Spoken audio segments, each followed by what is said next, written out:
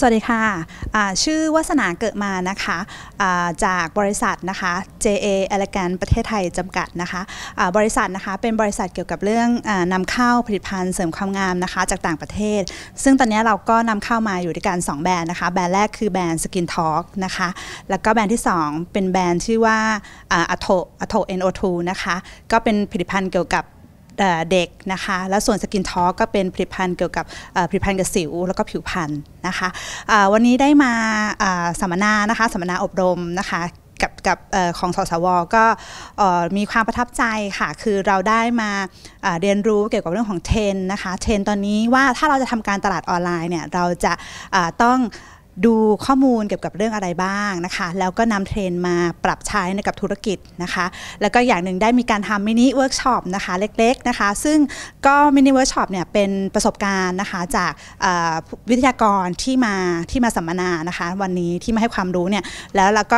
ท่านก็ถ่ายทอดมา แล้วก็เอามาทำเวิร์กช็อปเล็กๆ ซึ่งทำให้เราได้เห็นภาพจริงว่าเวลาเราไปทำธุรกิจเนี่ยจริง ๆ แล้วคือเราต้องปรับใช้ยังไงนะคะ นั่นคือช่วงบ่ายช่วงเช้า ส่วนในช่วงบ่ายก็เกี่ยวกับเรื่องของเทคนิคของการถ่ายภาพ ถ่ายภาพจากมือถือ ซึ่งในปัจจุบันเนี่ยการใช้มือถือสมาร์ทโฟนนะคะในการถ่ายภาพเนี่ยเป็นสิ่งที่ ผู้ประกอบการทั่วไปใช้นะคะ เราก็ได้รู้วิธีการรู้เทคนิคในการที่เอามาถ่ายรูปยังไง ให้โพสในโซเชียลได้สวยนะคะ ให้เกิดการสั่งซื้อให้คนมีความสนใจนะคะ แล้วก็ขอฝากไว้นิดนึงนะคะสำหรับหน่วยงานของภาครัฐนะคะ ก็ในชั้นก็เป็นผู้ประกอบการคนหนึ่งก็อยากให้จัดในสัมมนาลักษณะแบบนี้อีกนะคะ แล้วก็ถ้าเพิ่มเติมก็คืออาจจะเป็นmini workshop นะคะ mini workshop ให้ผู้ประกอบการได้เรียนรู้เกี่ยวกับ ข้อมูลต่างๆ ที่เป็นด้านทฤษฎีนะคะ มีการเวิร์กช็อปนะคะ